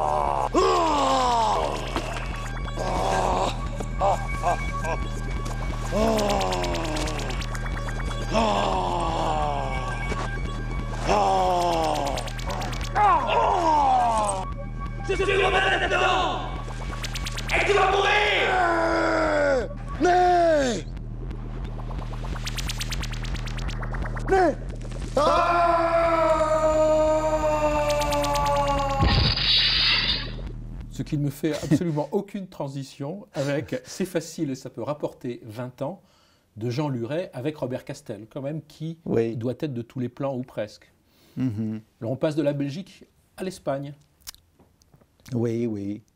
Comme, comme quoi les Je sens que amateurs. votre enthousiasme Bah, retombe d'un seul coup. De temps en temps, c'est bien d'avoir affaire à des amateurs qui croient, en- euh, qui croient au cinéma plutôt qu'à des professionnels qui, qui pensent à leur feuille d'impôt. Parce que c'est un- ça à cause de C'est facile et ça peut rapporter Ben 20 ans. oui, oui, oui. D'ailleurs, d'ailleurs, oui. c'est vrai que c'est un film sur l'argent avec un, un- Ça ne parle que de ça. Ça ne parle que de ça, mais il faut dire que c'est un film de producteur, donc qu'attendre d'un producteur, enfin qu'attendre d'un mauvais producteur, si ce n'est de, de- un film, un film sur, sur l'argent, parce que le producteur passe à la réalisation, donc, euh, donc euh, bon. C'est signé Jean Luret, qui a une Jean carrière assez oui. Bah oui. Il y a, euh, il y a à la fois du cinéma traditionnel avec Adam et Ève, il y a du cinéma porno sous différents pseudos. Oui. Sa fiche est- Wikipédia dit que c'était un disciple de euh, Jean Rouche avec le, sur le, le cinéma africain. Il a ah oui, oui, non, mais oui, oui, il a, il a, il a été, il a fait des documentaires en Afrique, mais Il a fait beaucoup, il a également filmé énormément de défilés de mode. Oui, C'est un oui, des bons oui. spécialistes de- du genre. Enfin, tout ceci fait un ensemble qui n'est pas très homogène. Non, non, mais, mais je- disons que je préfère l'hétérogénéité de Louis Gros-Pierre à, à celle de Jean Luret. Enfin, je sais pas, c'est. Pour, pour résumer, c'est facile et ça peut, C'est- ça peut rapporter 20 ans. Le, scénario est, absolument n'importe quoi. Oui, puisque c'est. Robert Castel qui, veut devenir- qui est gendarme, qui veut devenir motard, euh, qui a perdu sa fa- enfin qui a perdu, il ne sait pas où est passée sa femme, qui vit avec. euh, On a retrouvé un cadavre sur une plage à Benidorm. à Benidorm. Donc il va en Espagne. Euh, on se demande pourquoi, pourquoi ils font pas ça sur la Côte d'Azur ou sur en Bretagne. Ah, bah, c'est parce que c'est parce que oui, oui, euh, c'est parce que Jean Luret avait des avait des partenaires espagnols et puis que ça et puis que ça, ça fait bien. Tout d'un coup, on a un beau décor et du soleil. On est en 83, l'Espagne est montrée comme le tiers-monde, comme avec des poules dans la gare. Enfin, c'était. euh, Bah, Oui, oui. C'est la vision même des Espagnols, de, de ces coproducteurs, hein, parce que. Il va tomber sur un billet de loterie qui, bien évidemment, est un billet gagnant. Mhm. Et donc, Robert Castel va devenir riche du jour au lendemain. Oui, il vaut mieux revoir, Et sa femme Antoine, et. Ant- il vaut mieux revoir Antoine et Antoinette sur le même sujet, ou, ou le million de René Clair. Mais bon, euh, c'est un peu dur de- de- d'invoquer René Clair et Jacques Becker quand on parle de Jean Luret. Euh, non, en fait, vous savez, Jean Luret, Jean Luret a, a longtemps lutté contre, euh, contre sa, réputation d'avoir fait du cinéma pornographique. Il a voulu nier ça comme beaucoup. Et figurez-vous que c'est dans sa carrière pornographique qu'on trouve le meilleur de Luret. oui, il a fait des films porno, alors qu'on devrait passer ici en comédie désolante, qui sont extraordinaires de, de drôlerie, parce que euh, complètement désolant, un film qui s'appelle Obsession charnelle, qu'il avait signé Joe Symphonie, parce qu'il utilisait tout le temps des, pseudos, il, n'aimait pas trop euh, se mettre en avant pour ça, alors que si un, jour on, fait une rétrospective Jean Luret, ce qu'il restera, ce qu'il restera de Jean Luret, ce sont ces deux, trois films pornographiques extrêmement bizarres, un peu. Certains films pourraient faire penser à Jean-Jacques Rousseau, figurez-vous, des films complètement barrés. D'accord. Ah oui, oui, oui, oui. Euh, Ceci dit, excusez-moi, mais euh, c'est facile et ça peut rapporter 20 ans. C'est un projet autour de Robert Castel, le comédien principal qui a écrit Oui. le scénario. Donc Mais- il, mais- mais il le est tous les pauvre- flancs. Il y a sa femme qui joue dedans, Lucette Sahuquet. C'est c'est un délit d'orgueil. Oui. Je- on- Ou alors, ou alors, ou alors, enfin, il a écrit le scénario, j'avais pas remarqué. oui, oui, oui. C'est lui qui a écrit le scénario. Et il aurait dû trouver un autre réalisateur. Je ne sais pas. C'est non, il aurait dû mieux écrire son scénario déjà. Euh, bah, je- je- les acteurs Il a écrit deux films. Il y a celui-ci et un qui s'appelait Qu'est-ce que j'ai fait au bon Dieu pour avoir Ah une oui. femme qui boit au café avec les hommes Ah oui, oh là là. Je me suis oui. peut-être trompé quelque part. Non, mais non, non, non, c'est ça. Vous vous êtes pas trompé. Oui, c'est un film de Jean Saint-Amont. Oui. Encore un drôle de réalisateur. Bah, euh, je, je crois que parfois les acteurs comiques de cet acabit qui ont beaucoup d'abattage, qui sont des, des très bons acteurs, ont un, un- pêchent par orgueil. Ils pensent que leur, leur seule valeur va sauver un film et que les spectateurs vont, vont, vont, vont l'acclamer pour ça. Hmm. Et, et ces deux films ont été des échecs, de toute façon. Je crois, je crois. Euh, bon, et c'est des films qui, qui, qui, qui va aller voir des, des- des films pareils sous prétexte que Robert Castel est en tête d'affiche. Qui Il va vaut- programmer des films pareils, vous pourriez Bah, dire à part nous. quoi. Oui, il vaut mieux revoir Dupont-Lajoie, où Robert Castel est formidable, où il a un véritable rôle à défendre, où il est, où il est brillant, que, que, que ça. Hum, Euh, hum, hum. donc, euh, Il y a des répliques quand même euh, qui sont absolument insauvables. C'est-à-dire, euh, il en permanence, il y a une espèce de, de, de goût pour cogner sur tout ce qui peut être culturel, entre guillemets. À un moment, on dit Paul et Mhm. Virginie, ah oui, le roman de Victor Hugo. Oui, oui, oui, oui. Et à un moment, il y a Michel Galabru, heureusement qu'il y a Michel Galabru, qui arrive quand même, Mhm. en escroc et tout, qui veut lui vendre un tableau de Léonard de Pincy. et il dit, à une lettre près, je vous l'aurais acheté. quoi. voilà, faut quand ah, même ça, des c'est assez drôle comme réplique, non? Oui, oui, oui, oui. Mais. oui, oui. Tenez, regardez. Non, non, non, non, non. Chouberski, c'est toujours comme ça. Voilà. Vous êtes sûr? C'est pas. Ah oui, non, je suis sûr. Maintenant, chez vous, vous pouvez le mettre à l'envers si ça vous fait plaisir. Ça, moi. Ouais, Eh ben, vais-je vous dire une chose, de n'importe quel côté que je le mets, ça me dit rien du tout. Vraiment, je le sens pas, je le sens pas. Vraiment, vous me faites de la peine, hein Passer à côté d'une occasion pareille, mais c'est un crime. Peut-être, ça me dit rien, et puis ça fait trop ton sur ton avec ma cuisine. Non, vraiment, je vous dis la vérité, je la sens pas. Bon, et celui-là, alors, celui-là, Lé- Léonard de Vinci, hein? Hein? Un miracle pictural. Léonard de Vinci Ah, celui-là, je le connais. oui. Ah, j'achète ça, j'achète. Non, non, c'est pas, Pin- c'est pas Vinci, non. Léonard de Vinci. Non, Vinci, Vinci. Vinci, tant pis, comme peinture. Ah, Euh. dommage. dis. Pour une lettre, je vous le prenez. Regardez des fois à quoi ça tient la chance. C'est un- c'est un film bizarre quand même. Je, oui, oui, c'est- mais c'est, c'est pas un film très agréable. En fait, le, oui, c'est, il n'est pas très, il est pas, il est pas aussi agréable que, que les films dont, dont on vient de parler là, les, euh, pas très agréable comme film. Je sens que la note va s'en ressentir. Bah, que je peux donner. pas, je- je- je- jamais je vais mettre 5 ou 4 parce que c'est. Il faudrait mettre 1. 1 Oui. Une très très mauvaise note, 0. Vous pouvez, mais. euh, On va mettre 1 parce qu'il y a Galabru et Katiatchenko qui, Oui, qui font ce qu'ils très peuvent. drôle, Katiatchenko. Mais oui, bien sûr, et oui, et c'est une habituée de notre émission parce qu'on l'a vu dans Mon curé chez les nudistes. Ah, vous- regardez, Mon curé chez les nudistes, on pourrait penser que c'est- aussi navrant que, que ce Jean Luret. C'est beaucoup mieux. Mon curé chez les Thaïlandaises aussi. Ce film-là euh, n'est pas très agréable. Je suis avec toi à Paris? Pourquoi faire? Non, non, c'est pas la peine. Tu restes ici. Tu bronzes, tu te reposes, tu vas repérer les boutiques que tu dévalises à mon retour, tu cherches le meilleur hôtel, tu fais le déménagement. Paris est à deux heures d'avion. Je serai vite revenu. Et si on m'énerve un peu, j'achète un avion et l'équipage entier pour moi tout seul. Commissaire, je suppose que vous n'êtes pas de service aujourd'hui au restaurant. Tous les endroits sont bons pour exercer notre travail. hein. Alors, à votre succès. À votre santé, madame. Mais dis donc, qu'est-ce que tu vas faire avec la police? Quelle police? T'as déjà oublié tes flics. Complètement. Complètement. Alors je vais te dire, la police, c'est fini. Et leurs motos, ils peuvent s'en faire des cache-colles avec. Je démissionne. Terminé. Alors, 1 sur 5. Oui. Et finissons. Un film qui parle d'argent, sans arrêt d'argent, d'argent, comme si c'était un sujet, un sujet extraordinaire. euh, bon. Mais vous allez me dire quel est le sujet de notre dernier film. Nous allons finir en beauté avec La Grande Douba de 1974 de Christian Casa avec Jacques Dufilo et Sim. Oui. Ah bah, bah, moi j'ai Je- adoré. je sais la- que vous avez eu un faible Ah oui film. oui.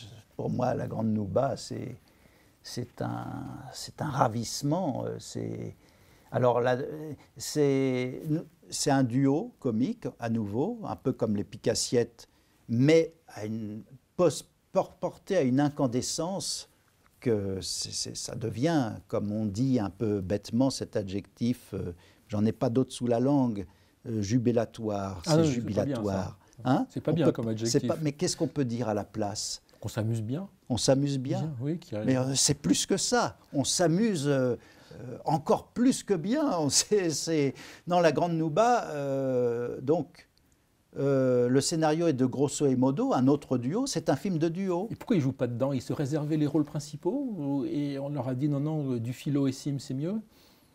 Et ils sont peut-être beaucoup plus modestes que Robert Castel, qui écrit un scénario et qui se donne le rôle principal, bêtement. Eux, ils écrivent, un, ils font un bon, un bon travail de scénariste avec des tas de gags visuels. Ce film, en fait, m'a fait hurler de rire parce que euh, c'est un, un film qui, qui, qui essaye de renouer avec la tradition du slapstick, avec le burlesque, le, le- le grand cinéma beaucoup, burlesque. beaucoup de gags visuels. Beaucoup Oui, de gags visuels. le, le burlesque, on dit toujours américain, mais, mais- mais les Américains n'ont pas la, la primauté du burlesque. Le burlesque, il est international. Euh, sauf que très souvent, les films dont on parle souvent sont des films qui, qui- qui essayent de miser sur un effet de, de dialogue. C'est le dialogue qui, qui- qui doit, qui doit tout d'un coup, c'est le phénomène des chansonniers. Un- une, une réplique qui, qui déclenche le rire. Et puis, on ne se soucie pas du reste. Et souvent, on se rend compte que euh, dans une comédie désolante, bah, le, le dialogue ne suffit pas. Ça fait juste un peu sourire. Bon, parfois, il y a une réplique tellement énorme, euh, comme le Léonard de Pincy. Pincy, on peut oui. quand même. Bon, alors, on peut rire à ça. Mais, mais très peu se sont risqués au burlesque. Le burlesque vraiment euh, à l'état vraiment pur, euh, avec des, des- Alors ce film est une course-poursuite, avec des tas de personnages qui se croisent, qui... Dufilo fait un amiral. Il fait un, contre, contre-amiral, il y tient beaucoup. Mais- culpa, un oui. contre-amiral qui doit marier sa... sa le, ce jour-là, il doit marier sa fille. Oui. Euh, Il fait tout le doit, il doit hein. sortir la, la voiture Euh, sa femme est complètement, évidemment, hystérique parce que c'est le mariage de sa fille. Elle est jouée par Rosie Vart, qui, qui a beaucoup d'abattage, qui est très très drôle. Euh, et, et donc, euh, il, pour- il est en train de s'habiller, il sort en caleçon, donc il fait tout le film en caleçon. oui, oui. Ça, c'est tout de même une idée formidable. Ça y est, ça y est, je vais chercher la voiture. Oh non, mon ami Mais vous êtes fou Mais Vous êtes fou Attendez Attendez Prenez votre imperméable Pourquoi voyez. il pleut, il pleut, il pleut, il pleut, mais regardez-vous Vous n'allez pas sortir comme ça Oh, quel enfant! Un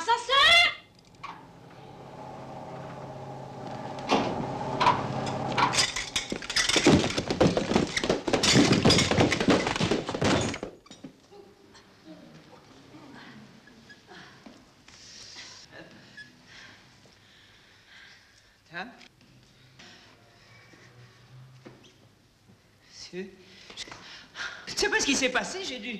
Sur la première marche, sur tout l'escalier, c'est stupide.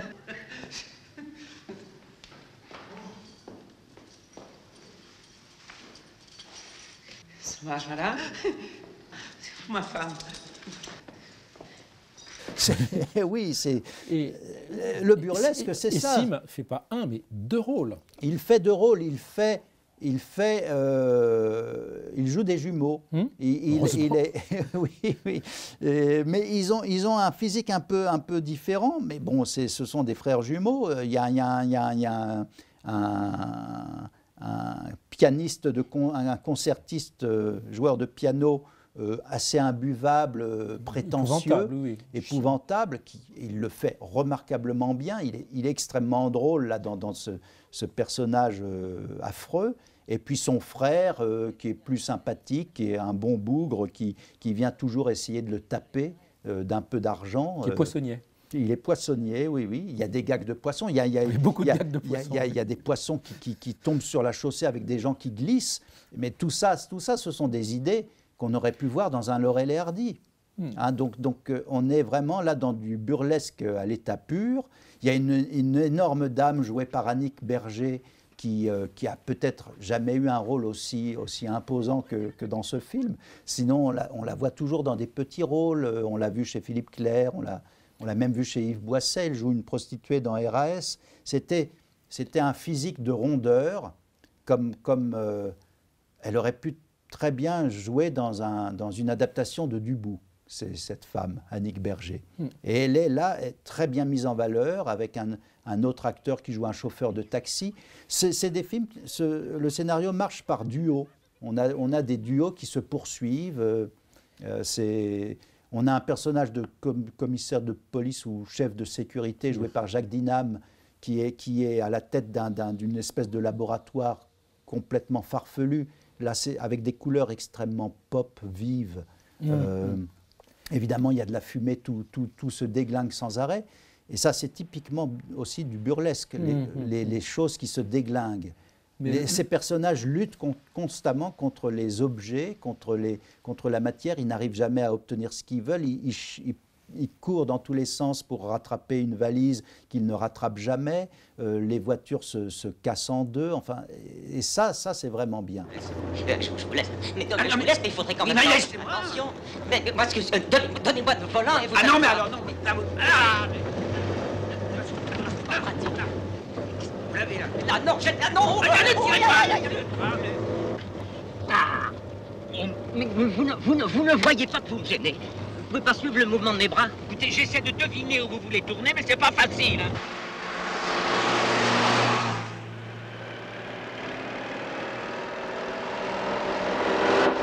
Dépêche-toi un peu, quoi. Oh, écoute, c'est une deux chevaux, hein. Puis je suis malade, j'ai mal au cœur, c'est ce poisson qui, qui bouscule. Allez derrière. Sur un autre ton, je vous prie. hein. À bord, c'est moi qui commande.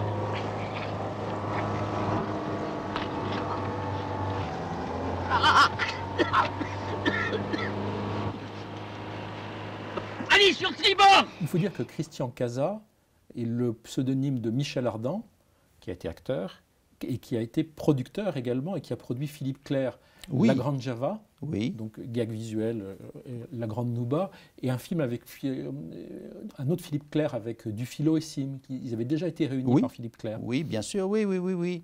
Oui, la Brigade en folie. La Brigade ça en folie. Oui, la Brigade en folie. Mais c'est curieux de dire que Christian Casa est le pseudonyme de Michel Ardan parce que c'est presque, le pseudonyme de. de- c'est de- presque son vrai nom en fait, parce que c'était un Arménien qui s'appelait Kazazian D'accord. en fait. Et, et euh, c'est pour ça, noms, quoi. c'est pour ça qu'il y a Rosivart d'ailleurs peut-être. Enfin, c'est euh, cette cette cette communauté d'Arméniens. Enfin, et, et, et puis euh, Vous voyez ce que je vous, ce que je vous disais sur. euh, voilà un vrai producteur. Voilà un vrai producteur Ah, tout il a d'un produit coup. Marcel Carnet, il a produit le- Oui, oui, Jacques oui. Brel, il a produit euh, il a- Robert il- Enrico, Les Grandes Gueules, c'était lui. Il Non, a- non, il a- il est parmi les premiers films de Molinaro, Une ravissante idiote. Euh, c'était. Oui, c'était un grand producteur. C'était un bon producteur, les producteur, productions oui. Belle Rive. Oui. Et. et, euh, Bon, Et il a je- fait deux films. je il a fait un film de Bidas, Les Bidas en vadrouille.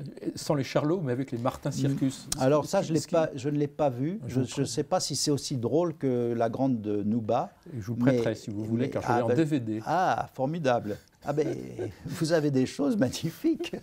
J'ai un enfer. Vous avez tout, André, tout, tout Christian Casa. Maintenant, j'ai tout Christian Casa. Et, et je trouve que là, il a vraiment euh, réussi un, un truc. Et, et vous voyez ce que je vous disais tout à l'heure sur le complexe de la province. C'est un film qui est entièrement tourné à Nice. Or, il n'arrête pas de parler dans le film d'arrondissement. On va changer d'arrondissement et tout et tout. Or, des arrondissements, il y en a à Paris, À. Lyon et à Marseille. Et mais pas, à Nice. C'est peut-être là une petite faiblesse de dialogue, plus qu'un complexe, non? Je ne sais pas. Je ne sais pas, mais ils veulent faire croire qu'ils sont dans une autre ville que Nice, en tout cas. Mais on a, par- on a quand même au tout début du film, on a la façade du Negresco. Parce Ouais. que vous savez que le Negresco se trouve à Nice. Bah oui, non? Je sais pas. Euh, Donc vous je trouvez sais que pas. vous, vous trouvez que nous finissons en beauté alors? Ah oui, oui, oui, on, on finit, on a même, euh, on, a une scène, euh, enfin il y a presque des tartes à la crème dans ce film. euh, Il y a des poissons. Il y a, il y a des, oui, oui, et puis il n'y a pas un, un truc avec de, de la mousse aussi? Si, si. Eh oui, c'est, il y, a, il y a vraiment tout ce qu'il faut. Non, non, c'est, c'est un, c'est un film euh, de destruction burlesque. Ça, ça c'est formidable. Et ça vaut 5. 5 Ah oui. Vous- Enfin, très, enfin très- remarquez, je, je- je suis encore en train de me perdre. Comme j'aime beaucoup ce film, je lui mettrais même un. Parce Voilà. que c'est, c'est pas désolant, c'est, désopilant. D'accord. C'est désopilant. voilà, donc, il faut lui mettre, il un, faut lui voilà. mettre un. Un. Oui, oui. Avec tout ce que vous avez dit, ce- Ouais, ces- ouais. pour louer toutes ces qualités.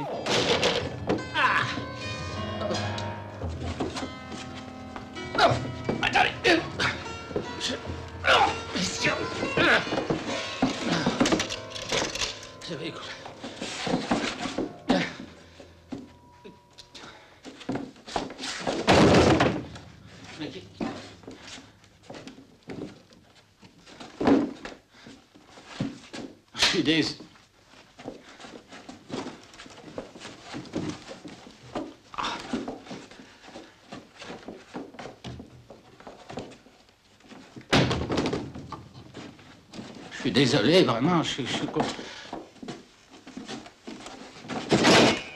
Oh, quelqu'un Oh.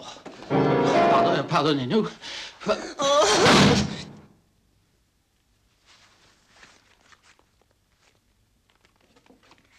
Désolé de, de cet incident, mais tout ça, c'est de ma faute. Mais enfin, tout va aller très bien maintenant. Voilà. Je, voilà, voilà. Mon cher maître, c'est à vous. Monsieur Lucien Vous, avez un ennui. Qu'est-ce qu'il fait là à mon piano? Mais c'était une honte! Mais arrêtez-le! Arrêtez-moi Lucien, arrêtez-le! Oh. oh là.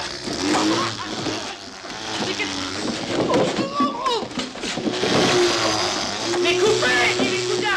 C'est le, c'est le chef-d'œuvre de, de notre, de notre salve. Oui, oui, oui. C'est- Salve qui était la dixième du nom.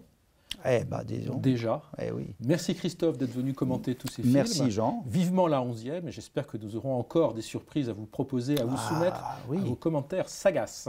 Peut-être le, le second et dernier film de Monsieur Christian Casa. Hmm N'insultons pas l'avenir. Merci Christophe et à très vite. Merci.